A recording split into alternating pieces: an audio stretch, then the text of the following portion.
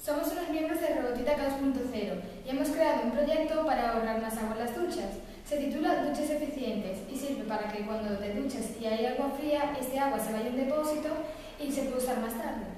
Nosotros estuvimos buscando presupuesto para que este depósito fuera lo más rentable posible y que las personas lo pudieran utilizar y comprar. Finalmente creamos un prototipo de este depósito con piezas de Lego y motores para que funcionara.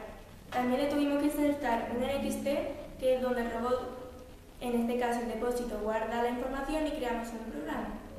Después de todo esto, expusimos nuestra idea a todas las personas para que todo aquel que la escuchara pudiera dar su opinión al respecto.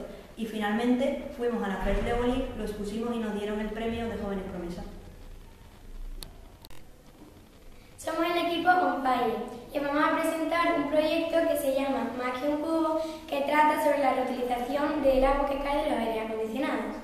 Cuando llega buen tiempo, sobre todo aquí en el sur de España, se utiliza muchísimo el aire acondicionado y eso gasto un montón de agua. Nuestra idea sería recolectar el agua que cae de los aires acondicionados para utilizarlas para varias cosas, ya sea para limpiar el suelo, regar las plantas o utilizarlas para la plancha.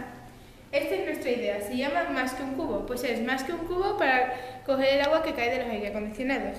Este tendría varias secciones en su parte superior para rellenar de, líquidos para luego reutilizar el agua y también tendría una llave de paso para regar las plantas mecánicamente. Este proyecto sería de unos 70 euros más o menos. Este proyecto es de nuestro compañero de tercero de la ESO del equipo RoboBet.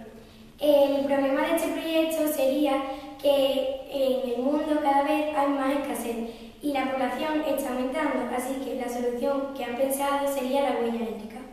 Las soluciones ya existentes son comprar productos con menos gastos de agua y utilizar las 3R, que son reducir, reciclar y reutilizar.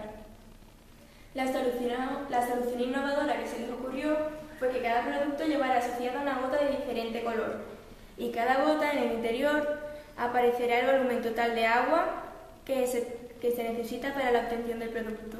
Por ejemplo, un par de zapatos de piel eh, son 8.000 litros, una camiseta de algodón son 4.100 litros y una bolsa de patatas fritas equivale a 185 litros.